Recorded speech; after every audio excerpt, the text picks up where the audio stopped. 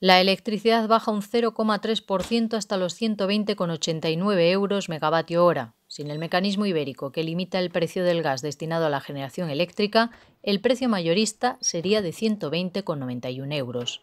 Por franjas horarias, el precio más alto se alcanzará entre las 9 y las 10 de la mañana, cuando rozará los 160 euros megavatio hora, mientras que la hora más barata, 97,68, se registrará entre las 2 y las 3 de la tarde. El precio definitivo será un 8% inferior al de hace un año, cuando alcanzaba los 131,50 euros. En otros países europeos, el precio para este lunes será de 186 euros megavatio hora en Italia, en Alemania de 76, Reino Unido 92 libras, unos 115 euros, y Francia 125 euros megavatio hora. En Portugal, donde también se aplica el tope al gas destinado a la generación eléctrica, en virtud de la conocida como excepción ibérica, el precio será el mismo que el de España, país con el que comparte mercado.